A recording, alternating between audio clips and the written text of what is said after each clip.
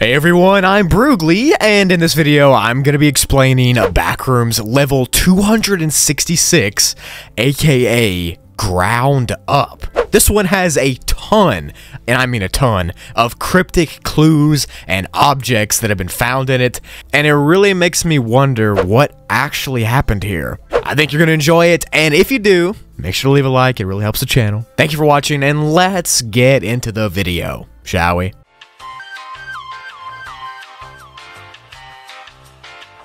Backrooms level 266 is classified as a Class 3E environmental danger and is unsafe and unsecure, and its main danger is not from entities, but the environment itself. The level actually looks like a giant floating mass of roots and sticks and trees. The trees are really thin and they don't have any leaves on them or anything like that, and the forest area is actually the center of the level. And as you wander further down from that forest, the steeper and more declined the landscape gets. Kind of like if you were standing on top of a giant ball and started to walk down the sides. It gets so steep eventually that it just drops off to 90 degree angles. The forest is also always covered in this fog, and it's really hot and humid, and it stays around 36 degrees Celsius or 96 degrees Fahrenheit, which is really hot. Since it is so hot, it is recommended that if you do come here, bring almond water so you don't go insane. However, you probably shouldn't come here, and you'll figure out why very soon.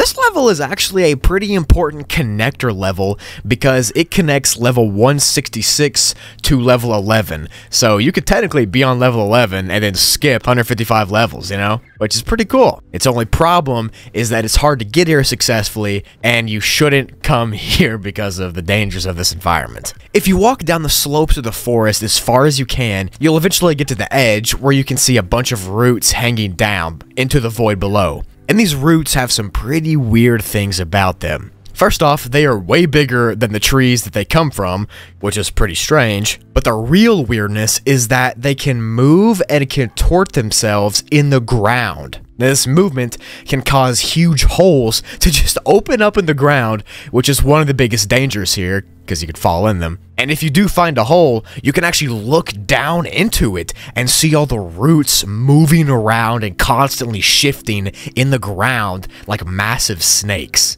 Grody. The roots are actually dangerous for another reason too, and it's because if you put an object near or in one of those holes that opens up, the roots will then grab it and close themselves around it, and then eventually, whatever you put down on the ground will be sucked into the ground by the roots themselves. Like the roots will literally grab something and pull it through the ground into underneath it, almost like they're eating it or something. And probably the grossest thing about looking down at the roots into the ground through a hole is that you can see objects flowing through the roots that got sucked from the surface, like the people who are no longer alive, or entities that have been trapped and pulled under, or objects and stuff like that. You can see all those things being wriggled and writhed through the tunnels that these roots create, being covered and wrapped around by other roots. That's terrifying. Some of the items in the roots have actually been pulled out, but sometimes people try to rescue something or someone else and they get sucked in themselves and end up not making it. So don't do that. There's also been some pretty weird things and objects that have been found on the surface of this level. Like, really cryptic and weird things. Because in a pretty new area of this level that recently got discovered and was nicknamed the Outer Ring, there has been some really strange things on the actual ground. Not sucked under yet, on the ground. For instance, this golden locket and this old shear tool. The tool had the word Tapyria stamped into the handle, and that evidently is some kind of bush looking thing. But why would that be stamped onto a pair of shears? I don't know. And who would leave a pair of shears there? And that golden locket is actually the really cryptic thing on this level. Specifically, the things inside of that golden locket. Like these two pictures of random people. One of them is not blacked out, and the other one looks like somebody marked the face out. Then there's this picture of a front porch of a house with flowers hanging up and the lights on. Then a really weird looking row of orange trees that are glowing, which I believe might be from level 166. Then a random blurry picture that doesn't even seem to be of anything, just a blur unless I'm missing something. Then the last three pictures that are on this locket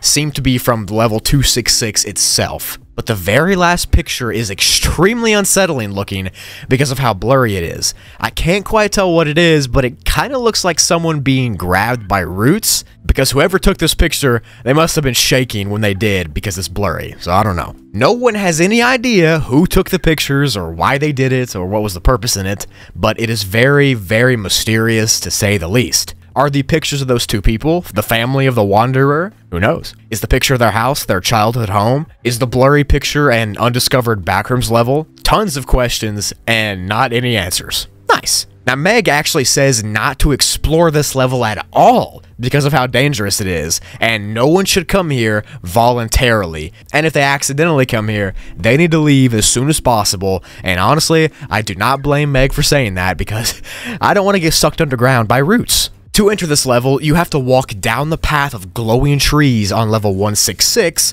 and you'll be forcefully no-clipped here to level 266. So yeah, I guess that Wanderer did take the picture of how they got here. And to exit, you can stay in the woods until you find a random elevator sticking out of the ground, get in it, and then you'll be no-clipped to level 11, or sometimes you can find a rusty mirror leaning against a random tree, and then no-clip through that to be sent to level 148. But yeah, what do y'all think about these pictures? What do they mean, and why were they in the locket? Let me know your theories down below in the comments.